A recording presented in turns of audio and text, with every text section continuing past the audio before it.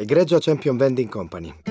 Vorrei comunicarvi che il distributore automatico 714 al St. Andrews Hospital avrebbe dovuto erogare un pacchetto di M&M's, ma sfortunatamente non l'ha fatto. La cosa mi ha disturbato molto, visto che ero affamato e che mia moglie era morta da 10 minuti. No, no, no, no, no, no! Giulia era una brava persona. Si occupava di bambini speciali. Quando è venuta a mancare ho capito di non averla mai conosciuta davvero.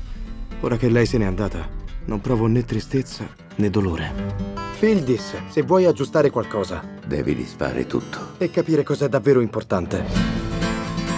Sono Karen Moreno della Champion Vending Company. La chiamo in merito alle sue lettere di reclamo. Deve parlare con qualcuno in particolare? Le chiamate di servizio le fa sempre alle due del mattino.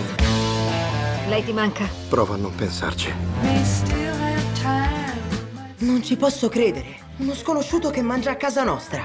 Questo signore ha perso la moglie, abbi un po' di comprensione. Perché non sei a scuola? Mi hanno sospeso. Il motivo?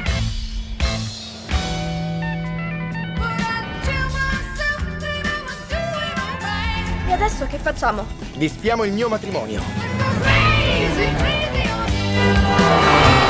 Era amore tra me e Giulia, ma non me ne sono preso cura. A proposito della bella attrice inglese Naomi Watts, ha fatto il suo primo lungometraggio For Love Alone nel 86, a 18 anni. Pochi anni dopo ha recitato in Flirting accanto a Nicole Kidman. Le due si erano conosciute prima del film, quando si sono presentate a un provino per uno spot e hanno preso poi il taxi insieme. Da quel momento Naomi e Nicole sono diventate amicissime. Pensa che Naomi ha fatto anche da tata ai figli della Kidman e Tom Cruise. Poi tra i suoi amici colleghi ci sono anche Mark Ruffalo, Kate Hudson e Sean Penn. La bella Naomi doveva recitare la parte di Catwoman in Il Cavaliere Oscuro, il ritorno del 2012, ma fu considerata troppo vecchia per la parte. Il ruolo è poi andato a Anne Hathaway di 14 anni più giovane. Vabbè.